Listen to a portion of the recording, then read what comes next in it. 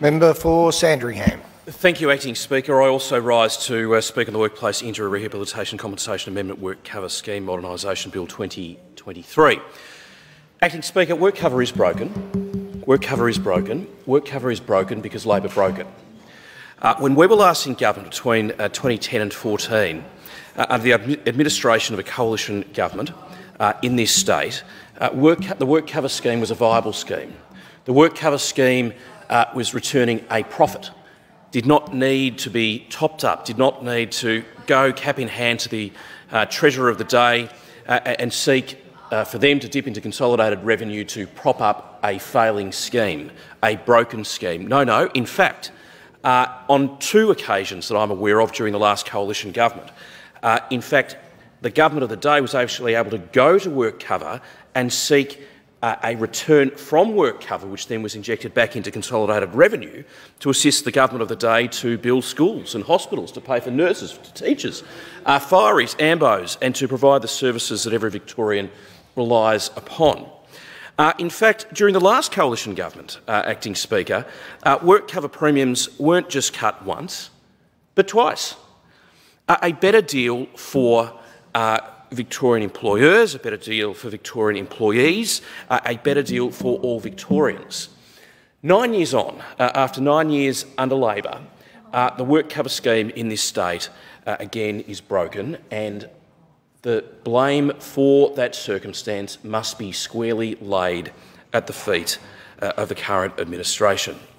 Uh, they have proposed, through the introduction of this bill, the panacea uh, to the current troubles of work cover.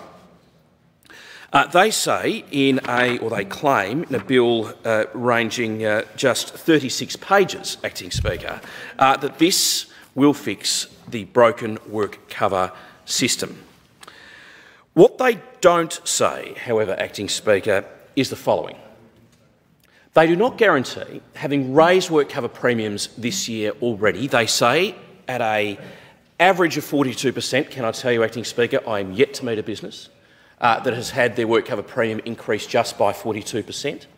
More often than not, the uh, many, many uh, uh, businesses around Victoria, and I have been contacted by businesses not just within my own constituency, uh, but around the state, uh, their work cover premiums have increased by more like 60%, 70%, 80%, 90%, 100%. and so to say, for the government to say that they've increased by an average of 42% is frankly a furphy. Uh, so there are two reasons uh, why uh, we will oppose this bill uh, in its current form. Firstly, because there is no guarantee that Victorian businesses who are already under pressure because of a skills shortage, because of uh, increasing costs of uh, amenities, 25%, 26%, I'm sorry, in, uh, uh, in the commercial world, a, a power increase. Uh, in the last uh, in the last 12 months, 25% of the domestic market, 26% in business. Um, the cost of employing people, uh, the cost of supplies, um, all of these existing cost pressures, and add on top of that uh, the 53 new or increased taxes, many of which are in uh, affect businesses directly, and add on top of that an increase uh, premium for work cover. So there is no guarantee in this bill that work cover premiums won't continue to rise. Let me share with the, uh, for the House, uh, uh, for the House's information and for, for, yours as well, Acting Speaker, truer words have never been spoken.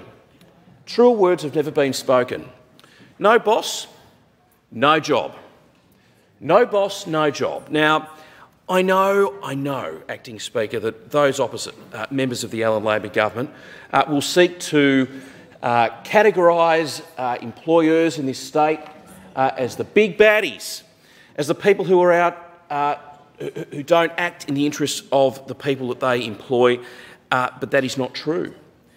employers in this state, and let's be frank, they need to take care of their employees. They need uh, to take care of their customers because if they don't, they don't have a, uh, they don't have a business. Uh, they don't have an opportunity to, uh, to, to, earn a wage, to reinvest in their business, to employ more people, to give people the opportunity that we in this place should want those people, our fellow Victorians, to have.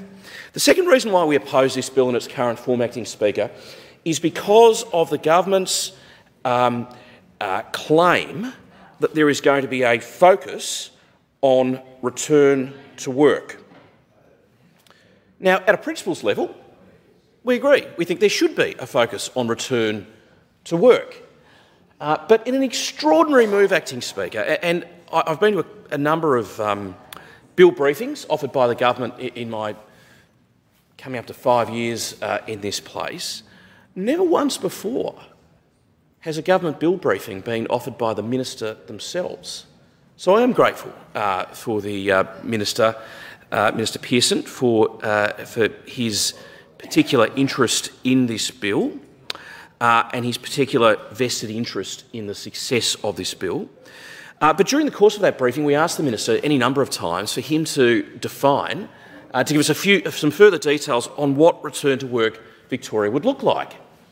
Acting Speaker, if you weren't there, you should have been. It was almost like the minister, uh, through the course of the briefing, was having sort of further expanded ideas about what it could be. Acting Speaker, this is completely unacceptable. You do not bring a bill to this place and say that a key feature of this is a focus on return to work and not have an idea, a defined, clarified, um, uh, you know, finalised idea about what return to work Victoria looks like. Is it going to sit independent of work cover? Is it going to sit within work cover? Is it going to sit within the department? Is it not? Is it going to be its own statutory agency uh, sitting aside work cover?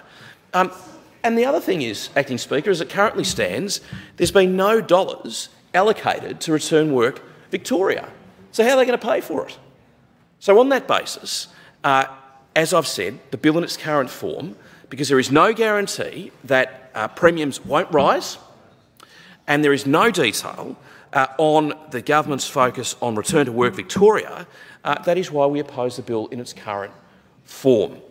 I, I would like to uh, draw the House's attention to comments uh, by the Victorian head of the Australian Industry Group, Tim Piper, who said the premiums are increasing at a time when virtually every other cost is increasing and causing pardon me, Victorian businesses considerable headaches. Victorian businesses need a worksafe system that supports them, supports employees. But in recent times, the costs of business have blown out, mainly as the result of increased mental health injury claims within the public service. Another very interesting point, which I will come back to should I have the time to do so. The Victorian Chamber of Commerce and Industry Chief Executive Paul Guerra said, uh, and this is earlier in the year, today's 42% increase has contributed to Victoria's having the highest work cover rates in the country uh, and will impact our reputation as the best place to do business. Acting Speaker, as the state's shadow treasurer, as the state's alternative treasurer, um, being part of the state's alternative government uh, that, that, fully intends, uh, with everything we have, to become the government following the November 2026 election uh, in just three short years' time, I don't want businesses to leave this state. We don't need more businesses to leave this state. We need, given our debt position, uh, given the daily interest repayments uh, that we are paying because of the debt position uh, that this government has got us into over the last nine years, we need greater economic activity in this state. We need more businesses to make this state their home. We need existing businesses to expand within this state. We need existing businesses to employ more people.